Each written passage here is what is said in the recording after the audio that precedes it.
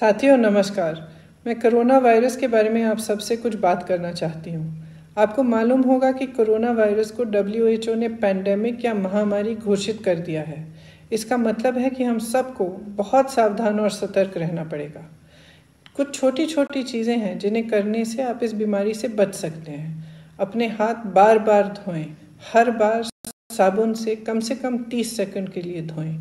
इसके अलावा अगर आपको इस बीमारी के लक्षण महसूस हों, सर दर्द हो, बुखार हो, खांसी, ज़ुकाम हो तो ज़रूर किसी डॉक्टर से मिलिए या किसी चिकित्सालय से संपर्क करिए ऐसे लक्षण महसूस होने पर ज़्यादा लोगों से न मिलें अगर आप यात्राओं पे जाने का, की योजना कर रहे हैं तो कुछ दिनों के लिए यात्राओं पे न जाएँ।